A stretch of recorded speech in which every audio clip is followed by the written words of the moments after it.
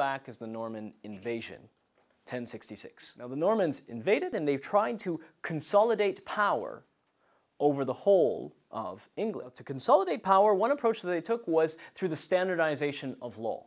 Legal disputes were resolved mostly locally.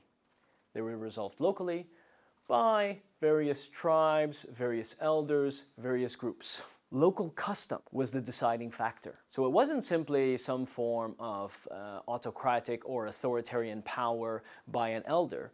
No, what the elders would do would be simply to apply local custom. And local custom, as many of you are coming from different parts of the world know, local custom varies.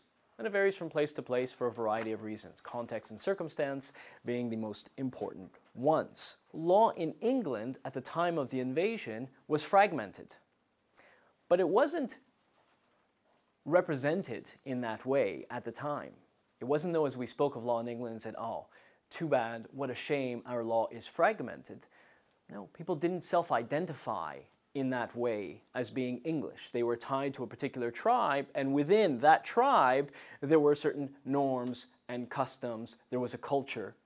Therefore, there was a legal system. This, however, did dilute the power of the monarchy because rules would be applied differently in different parts of the island. So what the Normans sought to do was to standardize the laws, and they developed a body of judge clerics. So they took some clerics from within the Roman Catholic Church and they trained them as judges so as to carry out or as to implement the law, to interpret the law in a unified fashion. Well, obviously, because these were Roman Catholic clerics, then the laws of England around that time were heavily influenced by Christianity. And because common law is a system that builds upon precedent, builds upon the past, we see that through the progression of common law, there has always been a very strong,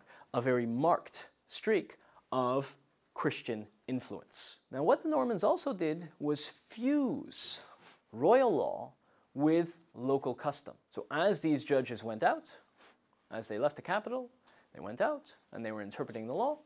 They were bringing with them an idea as to what royal law was, but they were expected to fuse it with local custom. Why? If you impose a law from afar that people are unfamiliar with, then there is likely to be misunderstanding. And that in itself will lead to the type of variability that they were trying to avoid. But then there's also the element of resistance someone comes in and imposes upon you a new law, there's greater resistance.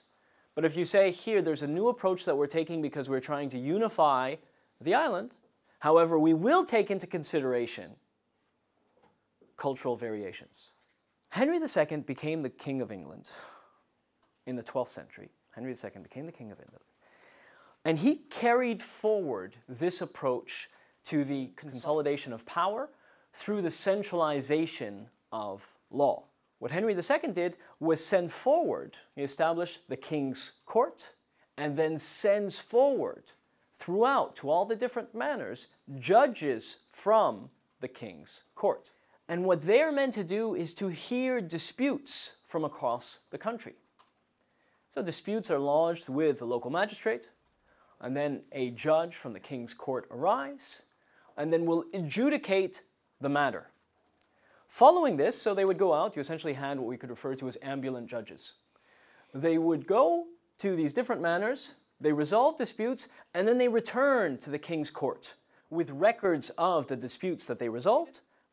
Then they have a conversation with all the other judges and they try to harmonize, standardize the rules. What the judges were meant to do was effectively to elaborate, to articulate English custom.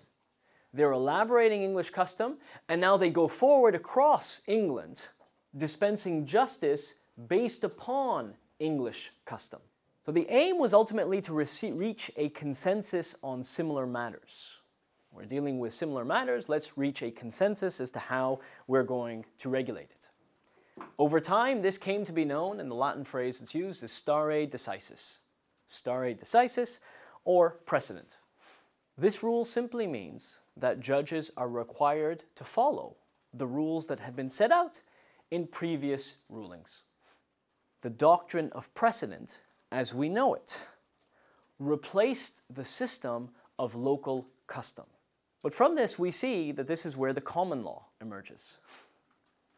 The common law. But the common law refers to the legal principles, the legal principles and concepts that evolved over many centuries and that were deemed common to all of Britain. Hence the term common